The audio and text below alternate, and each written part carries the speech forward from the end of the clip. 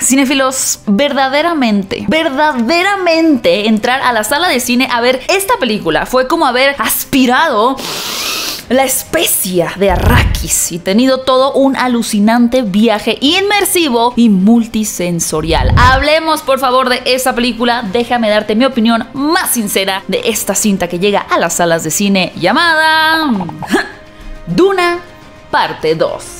Wow, wow, wow, wow, wow. Cinéfilos, cinéfilas, mis sonidos guturales son un fracaso, por eso no me dedico a hacer sonidos guturales. Bienvenidos a esta crítica, a esta opinión de la segunda parte de Dune. Una opinión que realmente me tiene muy emocionada compartir contigo, pero sobre todo abrir la conversación para también poder escuchar tu análisis, tu opinión, cómo recibiste esta película. Como sabes, siempre puedes dejar todo aquí abajo en los comentarios para que todos los cinéfilos podamos opinar sobre el comentario, el comentario, el comentario, el comentario. Cualquiera que haya sido tu opinión más sincera, más sincera esta película, por favor déjala abajo en los comentarios. No importa si te parece un tremendo bodrio, se vale también. O si te parece la joya cinematográfica de los últimos 100 años, también se vale. Cualquiera que sea tu opinión más sincera, por favor compártela aquí abajo en los comentarios y como siempre, los estaré leyendo. Verán cinéfilos, cuando durante la pandemia se estrenó la primera parte de Dune, porque bueno, si no recordaban fue durante la pandemia, cuando llegó esta primera parte dirigida por Denis Villeneuve, realmente hubo muchas personas que como yo salieron de la sala de cine completamente cautivados por la adaptación que había hecho este director de una novela que ya era considerada casi como inadaptable. El universo que propuso la primera entrega a nivel personal me deslumbró. Pero también la realidad es que hubo una gran parte de la audiencia que sintió que el desarrollo de la trama era lento y que la promesa de una historia épica no terminaba por cumplirse. Y realmente entiendo perfectamente por qué es que se sintieron de esa manera. Ahora, es bien importante resaltar que el director realmente no tenía luz verde para una segunda parte cuando estrenó la primera. Y el hecho de que existiera una secuela dependía completamente de la recepción y la taquilla que obtuviera. Afortunadamente, y mi queridísima Dan, editora, gracias por editar este video, pon afortunadamente así toda la pantalla aquí que están las letras, que estoy tocando letras. Afortunadamente, Warner dio luz verde y ahora tenemos el privilegio, porque realmente lo considero un privilegio, de ser testigos de una de las cintas más épicas, intensas e interesantes que hemos tenido en la pantalla grande en los últimos años. Pregunta, Gaby. Sí, respuesta. ¿Es necesario haber visto la primera película para poder entender esta? Miren, la realidad es que el director ha ido por ahí en varias entrevistas diciendo que no, que no es necesario, que él armó esta película de tal forma que no sea una obligación que tengas que ver la primera parte, pero... La verdad, yo sí lo recomiendo, lo recomiendo bastante. Porque de lo contrario, creo que las casas enemigas, los lugares, hasta los gusanos te van a parecer muy ajenos. Así que, bueno, si quieres verla, actualmente la puedes encontrar en Max. Max, el que antes era HBO Max, pero ahora tenemos que decirle Max. Muy bien, en esta segunda parte, Paul Atreides y su madre, Lady Jessica, acompañan a los Fremen en su lucha por derrotar a los Harkonnen. Esta casa de villanos o enemigos que mató al padre de Paul y aniquiló a la casa Atreides. Paul y su madre forman parte de este enfrentamiento al mismo tiempo que intentan ganarse la confianza de este pueblo desértico y a su vez persuadirlos de que Paul es el Mesías o Salvador del que hablan las profecías.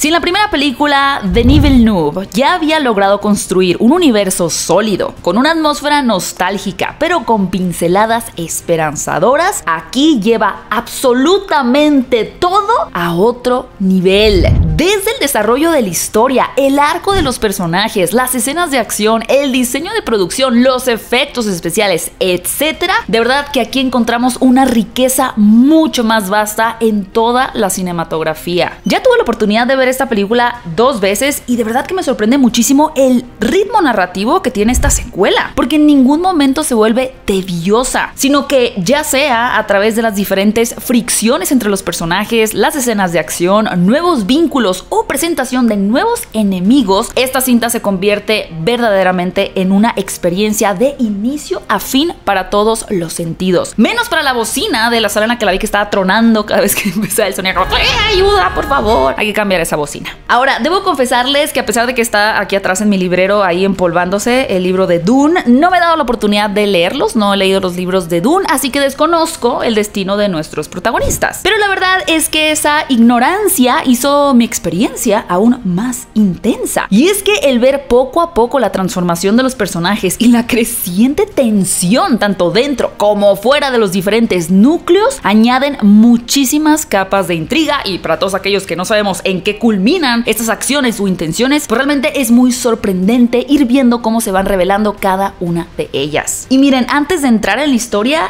quiero resaltar, porque es bien importante en esta película, el diseño de producción y una vez más el universo complejo y completo que logra construir el director. Porque la manera en la que logra hacer vibrar el desierto y las dunas verdaderamente es impresionante. Y es que el director termina por presentar a Arrakis como un territorio dinámico donde la vida y el caos coexisten y donde el peligro siempre está al acecho. Pero una de las cosas que más me gustan es, por ejemplo, el cómo el diseño de unas naves, naves espaciales tipo helicópteros, están alineados a una estética orgánica que llega a simular incluso como formas animales, lo cual termina por estar completamente en tono con una de las temáticas que aborda el libro, que tiene que ver con el cuidado ambiental y ecológico, el cual también podemos ver en la película, y la crítica de cómo los humanos explotamos sin medida los recursos naturales. Pero, por otro lado, esta parte orgánica contrasta con una arquitectura geométrica y obtusa, de tal forma que en Dune lo natural se contrapone con lo industrial, teniendo como resultado algo sumamente armónico e hipnótico. Y sí, todos estos elementos que estoy mencionando ya estaban presentes desde la primera entrega, quizá en una escala ligeramente menor. Pero lo que sin lugar a dudas sí escala por completo acá es la intensidad de la historia. Todo lo que envuelve a los personajes realmente termina por intensificarse. Son de verdad bien poquitos los momentos en que estos diferentes grupos llegan a tener un respiro, porque de verdad el destino de cada uno está pendiendo de un hilo. Y ahora los villanos se presentan bajo una luz mucho más desagradable. Y me encanta cómo se enfatiza en que sean incómodos de ver a través del maquillaje, en donde muchas veces, si se fijan, estos personajes están sudados o están babeados, o bueno, más bien están babeando, provocando como muchísima repulsión. Pero, por otro lado, también tenemos a estos villanos al estilo de Fate Rauta, interpretado por Austin Butler, que encarna su alma sádica en un cuerpo terriblemente perfecto. Y bueno, claro que sí, trayendo a colación a nuestro querido Austin Butler, aunque ha batallado para quitarse el acento de Elvis, la verdad es que aquí lo hace espectacular. Nos entrega una actuación 100% convincente. Lo que nos regala es a un villano completamente despiadado, pero con una personalidad perversa y malévolamente carismática. Y al fin, en esta secuela, Zendaya no es nada más un flashback, una visión de Paula Trades con la música de sino que finalmente se convierte en un personaje real y Chani es sumamente entrañable. Se trata realmente de un personaje con distintas capas y que gracias a la interpretación de Zendaya logra encarnar a esta mujer que se está debatiendo constantemente entre la razón y la pasión. Además de que es completamente convincente como una guerrera que ya es una con el desierto. Timothy Chalamet, la verdad, por otro lado, también logra matizar muy bien a Paula Atreides para delinear poco a poco el arco de su personaje. Yo creo que este actor, tanto en, pues, en general en sus películas y en esta cinta, es alguien que desborda carisma y bondad, pero que al momento de tomar tribuna y liderazgo, indudablemente sabe cómo proyectar su voz y su carácter entre cientos de personajes. Todos muy maravillosos, todos muy bonitos, pero particularmente tengo a dos favoritos. Número 1, a Rebecca Ferguson como Lady Jessica, quien, como recordarán, si vieron la primera película, ha sido instruida en la orden de las Bene Gesserit. Para mí, la verdad, ella es la mejor actriz, la mejor actriz dentro de este abanico de talento que tiene la película. Y créanme que yo sé que esto es mucho decir, pero esta mujer tiene un dominio absoluto sobre su cuerpo y sus expresiones para denotar distintas intenciones y emociones. Literalmente, tan solo en su forma de mirar de diferentes maneras en distintas escenas transmiten cosas completamente diferentes. Es una genia de la actuación, te amo Rebecca Ferguson, yo jamás, jamás...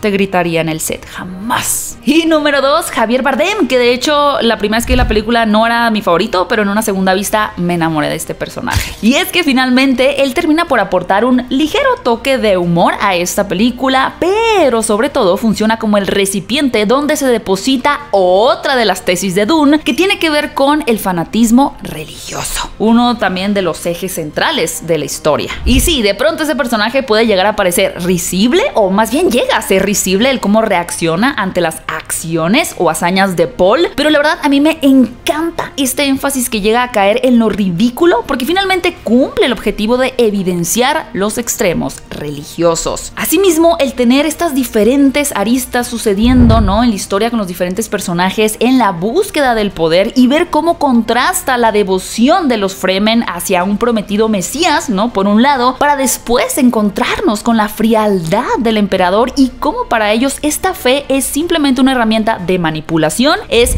muy interesante. De hecho, por ahí hay un par de diálogos que dice el personaje de la princesa Irulan, que es interpretada por Florence Pugh, que realmente caen con mucho peso en lo que tiene que ver justo con el manejo frívolo de las masas en pos del control absoluto. Dune 2, como le gustaría a Shrek, ¿Apestan? Sí, no. es una película llena de capas. Capas como las que también tienen los gusanos de arena, que en esta película se alzan de una manera tan imponente y colosal que literalmente hay una escena que me hizo llorar. Ya sé, puede sonar muy cursi o exagerado. Yo no soy una persona que llora ni con películas tristes en el cine, pero es que se me puso la piel chinita de la forma en la que Denis Villeneuve va construyendo este momento tan épico y cuando se realiza, ¿no? Cuando se materializa toda esa epicidad, es como, es precioso. De verdad agradezco muchísimo que el director no gaste este elemento de los gusanos hasta volverlo una presencia cotidiana y mundana, sino que en su lugar sabe cómo y cuándo deben de intervenir en la trama, de tal forma que su presencia se dosifica hasta llegar a un punto clímax impresionante. Y hablando de eso, los efectos especiales son de verdad son un deleite visual, son una belleza. Sí, sí, Christopher Nolan este año presumió muchísimo y le quedó chulísima también su escena de la explosión de esta prueba Trinity en la película de Oppenheimer, pero miren ahí Denis viendo desde lejos ahí, mm, sin decir nada, callado, callado, pero ¡boom! Los efectos especiales de Doom 2, qué nivel de manejo de efectos y de secuencias de acción. Todas las peleas, los enfrentamientos y las luchas tienen su propia personalidad. Fuera de que estamos en las dunas en el desierto, la realidad es que ninguna se parece a otra y además están cargadas de adrenalina tanto por el peso narrativo como por la forma tan dinámica y elegante en la que están filmadas. Ay, podría hablar y hablar y hablar y hablar y hablar de Dune 2, pero eh, para propósitos de este formato, puedo concluir que todos los elementos que conforman una cinta épica están aquí tratados con toda la atención y el respeto posible. El director Denis Villeneuve propone una imaginería visual impactante con una historia llena de capas que habla sobre el amor, el poder, la religión, el destino, el control y muchas cosas más. Todo esto de la mano de grandes actuaciones, un score de Hans Zimmer que te la piel. Y de verdad que pretendo ver esta película por lo menos, por lo menos una vez más. Y de ser posible en formato IMAX, que yo creo que es la mejor forma de ver, no sé, creo que escupí porque no se ha visto en la cámara, que es la mejor forma de ver esta película porque de verdad es que este es uno de esos eventos cinematográficos que se quedan grabados en la retina, en la memoria y sí, seré cursi en el corazón. Yo por eso a esta película le doy 5 estrellas de 5. Uy, creo que lo que da el año le he dado como a tres películas cinco estrellas. Anatomía de una caída, Poor Things y esta. Ay, 2024 nos tiene muy bondadosos. Cinéfilos, espero que hayan disfrutado muchísimo de esta opinión. Por favor, me encantará leer tus comentarios. ¿Te gustó más la segunda parte? ¿Te gusta más la primera parte? ¿No te gusta ninguna? ¿Viste este video porque estás aburrido? Cualquiera que sea tu opinión más sincera, por favor, déjala acá abajo en los comentarios como siempre lo estaré leyendo. Y también te invito a que me sigas en mis redes sociales. Me puedes encontrar en Instagram como arroba gabimesa8 y en TikTok como arroba gabimesa con. Por cierto, tuve la oportunidad de entrevistar al elenco de esta película, Timothy Chalamet, Zendaya, Florence Pugh, Austin Butler y al genio, porque es un genio ese señor, Denis Villeneuve. Si quieres ver mi plática con ellos, pues lo puedes encontrar en este canal de Fuera de Foco. Muchas gracias por ver este video. Mi nombre es Gaby Mesa con.